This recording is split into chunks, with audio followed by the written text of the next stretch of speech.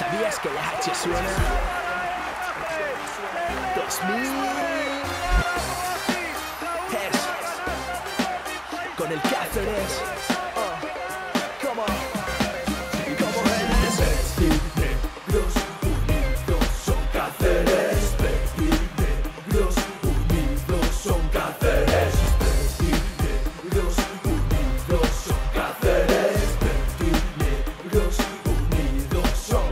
Bien, la semana ha ido en cuanto a juego mm, bastante bien. Hemos, creo que hemos mejorado eh, bastante, hemos dado un salto cualitativo.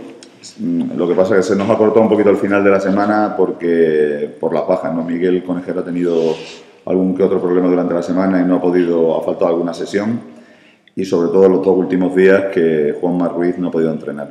Eh, tiene un, bueno, en el aductor lo tiene dañado y hoy pensábamos que podía ayudarnos, no lo ha hecho. Vamos a ver si para el entrenamiento de mañana por la mañana lo, lo puedo tener, pero no soy ni, no soy ni, ni, posi- ni positivo, ni optimista, ni pesimista, pero eh, el que hoy no haya podido entrenar, pues no me da buena espina, la verdad. ¿Y el rival? Bueno, el rival. Pues el rival es un poco, eh, me recuerda mucho en cuanto a características y a casi a intangibles de cómo era eh, Ávila.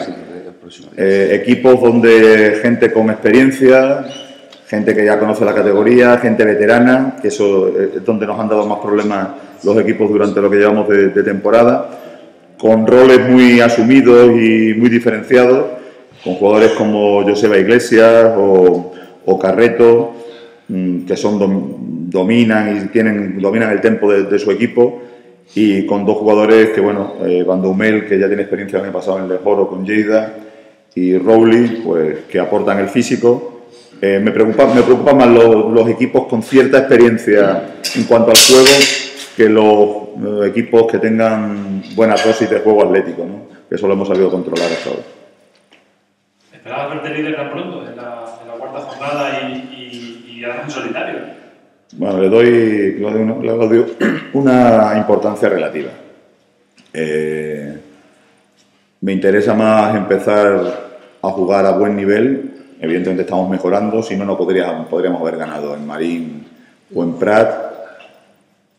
Y el, bueno, el sentirte arriba siempre es un, pues un impulso moral que le puedes dar al, al equipo. Los jugadores se sienten, se sienten contentos, ven que el trabajo tiene recompensa y siempre, y siempre vale.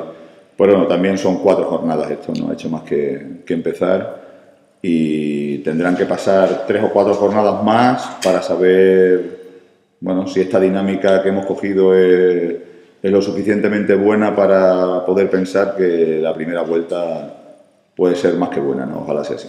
No decía Luis incluso que se tiene un equipo que se podía estar perfectamente en oro. Luis es un tío optimista.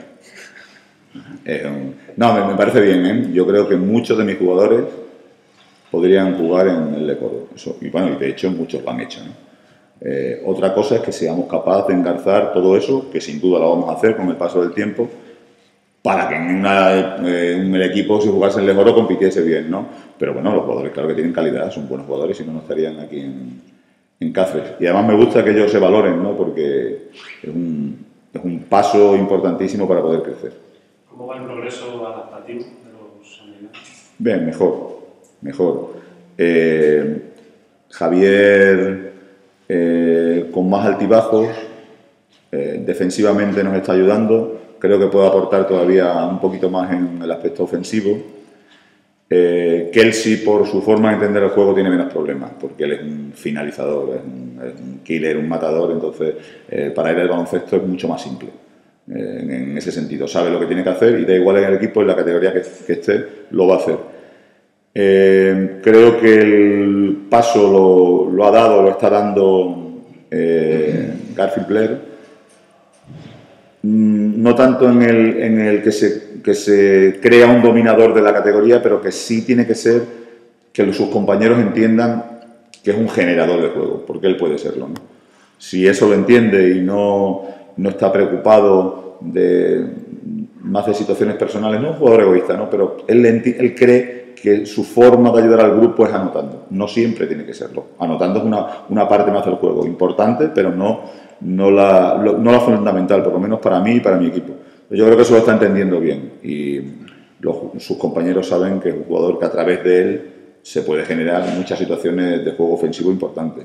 Y luego que él ha asumido muchas veces en su equipo roles defensivos, ya sea en la, en la- en la selección jamaicana, era un- tenía un peso importante en cuanto a su defensa de uno contra uno y puede hacerlo. ¿no? Cuando él se sienta fuerte en las dos partes del campo y vea que es un jugador importante para sus compañeros, va a subir muchos enteros y nos va a ayudar muchísimo más de lo que lo está haciendo.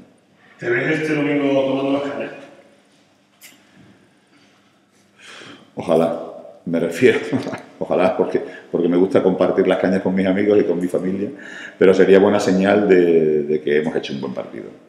Me preocupa el, el- el- Me gustaría que el equipo jugase bien, porque estamos entrenando a un, a un nivel que si somos capaces de poner, de plasmarlo en la cancha el domingo por la mañana, pues la gente de Cáceres disfrutará. Y si encima se gana, pues, pues mucho mejor. Eh, ¿Te sorprendieron las carreras de Palma y de Castellón el otro día? Un mensaje para que, que diga que la liga no está... Claro, es que me, me parece un toque importante para, para toda la gente.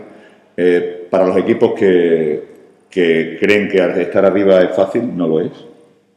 No lo es, ningún equipo. Cualquier equipo, fijaos, cualquier equipo de Les Plata que tenga dos o tres jugadores con cierta experiencia en el juego, tiene mucho ganado.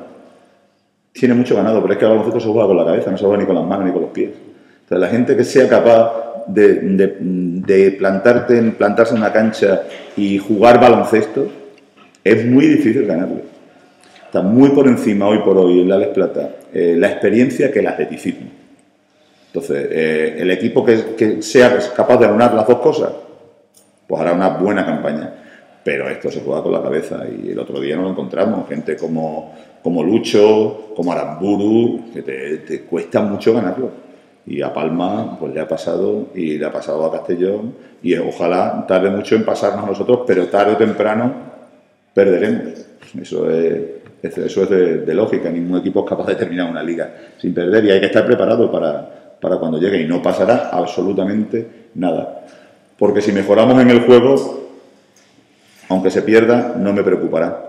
Pues Yo soy crítico con mi equipo cuando no juega bien. Muchas veces vosotros también lo sois y en, y en exceso, porque creo que el, el- el que más crítico tiene que ser soy yo. Y muchas veces po- me, me- me he cuestionado a veces si el hecho de que yo sea demasiado crítico puede influir en vuestra, en vuestra visión del equipo.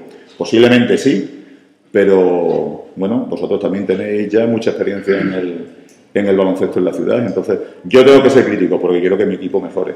Y a lo mejor, si vosotros lo sois, sois un poco más injustos que yo, porque yo tengo que ser un cabroncete muchas veces, ¿no?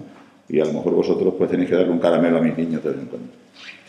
Y ¿estás de acuerdo con la última postura que tomamos? Digo sobre todo con la última reunión que ha habido, de eh, que no haya tanto tiempo cuando empiecen los playoffs. Sí, a mí el club me lo, me lo, me lo preguntó, me consultó y me parecía correcto. Es que había gente que tenía demasiado tiempo, son demasiado tiempo para, para terminar la liga y jugar playoff. Y ojalá hubiera sido desde el principio. Me parece que hubiera sido lo ideal haberse planteado bien la liga y haber, no haber hecho esos cambios desde, y se hubieran hecho desde el principio de la competición y todos supiéramos pues, cuándo tenemos descanso, cuándo no. Ojalá hubiéramos tenido una liga par y no impar, pero bueno, vamos todo lo que sea intentar mejorarlo, pues bienvenido sea.